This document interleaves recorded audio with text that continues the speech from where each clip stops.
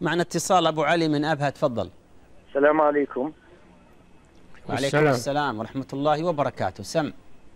لو سمحت عندي سؤال يا شيخ. تفضل. نعم.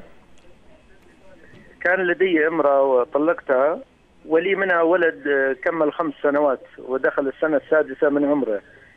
لكن هناك في مشكلة يا شيخ إنه يرفض ابني الذهاب لوالدته. فهل يبقى ابني عندي وتبقى الزيارة لوالدته فقط؟ أرجو الإفادة يا شيخ. نعم هو يبقى, يبقى عندك. نعم. تربيه ولو كان عند والدته في النهار وعندك في الليل يكون هذا أحسن. نعم. أنا يا شيخ في مدينة وهي في مدينة.